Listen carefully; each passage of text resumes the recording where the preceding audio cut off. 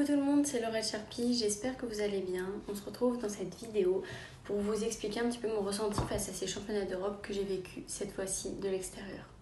Donc euh, comme vous devez le savoir, ou si vous ne le savez pas, je vais vous le dire, euh, je me suis blessée début mars euh, au genou, je me suis fait une rupture complète du ligament antérieur. Pour aller plus vite, je me suis fait les croisés. C'était une blessure compliquée parce que ça demande beaucoup de rééducation, un, un temps qui ne peut pas être rétréci. Donc euh, j'ai mis longtemps euh, à accepter cette blessure. Euh, j'ai toujours dit que je me remettrai jamais parce que je m'entraîne pour, pour Tokyo 2020-2021. depuis 10 ans, je suis rentrée au pôle en 2011 pour cet objectif. Donc ça a été très compliqué de l'accepter. Mais, euh, mais voilà, pour avancer, il faut, faut se donner de nouveaux objectifs. Euh, et là, j'ai décidé de, de, me projeter vers le futur pour pas rester sur place et pouvoir avancer en acceptant cette blessure. Donc, euh, donc voilà.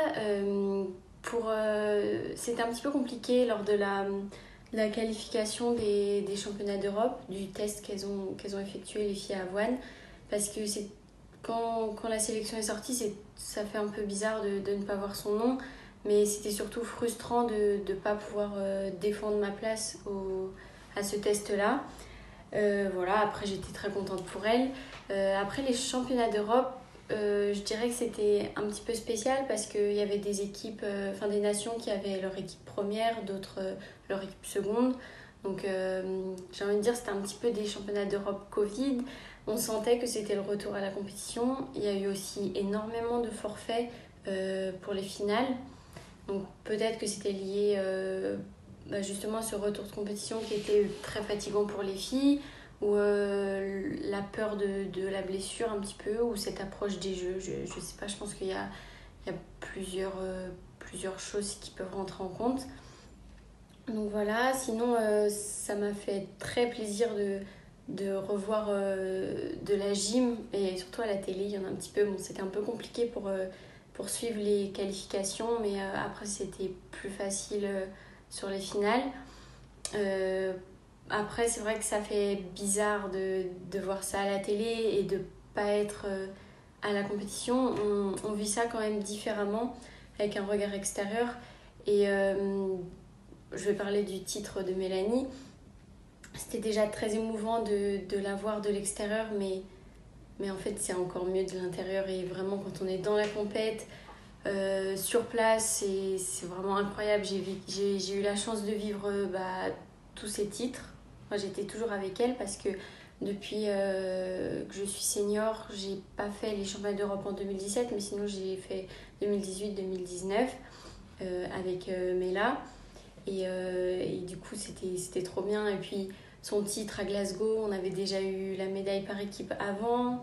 Euh, en Pologne, je ne je, vais pas essayer de prononcer le nom de la ville, mais euh, en, au championnat d'Europe en 2019 euh, avec, avec Colline et Marine, c'était vraiment trop bien. C'est encore mieux de l'intérieur, donc je, je, vous dis ça parce que déjà de l'extérieur c'est quelque chose d'incroyable, mais voilà. Après, ça m'a fait plaisir euh, aussi de revoir euh, bah, Marine sur les 4 agrès. C'est vrai que ça faisait longtemps qu'on l'avait pas vue. Et puis, j'avais déjà fait une compétition avec euh, Caroline, les Jeux européens à Minsk, et ça m'a fait plaisir de la revoir. Et, et sinon, chez Yen, bah, c'est cool. C'était une première pour elle. Et en tout cas, j'ai la, gym française, elle apporte toujours cette, cette classe et elle est très agréable à regarder.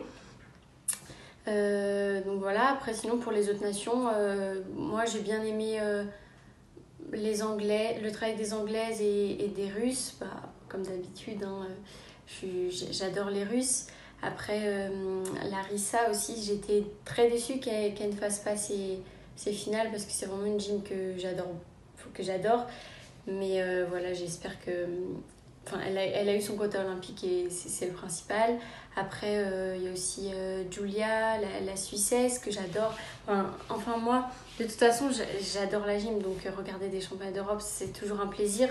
Mais ça fait un petit quelque chose quand, quand on n'y est pas. Et ça rappelle un petit peu que, bah, que je me suis blessée, que, que, voilà, que ça va être long, mais il, faut, il faut garder le sourire et se donner de nouveaux objectifs pour, pour avancer et, et atteindre mon rêve qui, est de faire les Jeux Olympiques. Donc on reporte ça à Paris 2024, j'espère. Je vais tout faire pour en tout cas. Sinon, euh, pour les gammes, euh, j'ai pas envie de dire de bêtises parce que je m'y connais pas trop trop, mais euh, je, vais, essayer de faire des progrès. Mais c'était cool de voir un petit peu des nouveaux visages aussi. après, bah, il y avait le, forfait de Samir qui, qui forcément affecte un peu tout le monde. Mais d'ailleurs, Samir, qu'est-ce que tu en as pensé de ces championnats d'Europe? Je lui laisserai la parole après. Euh, donc voilà, j'espère que cette petite vidéo vous a plu et euh, j'espère aussi vous revoir très très vite. Je vous embrasse.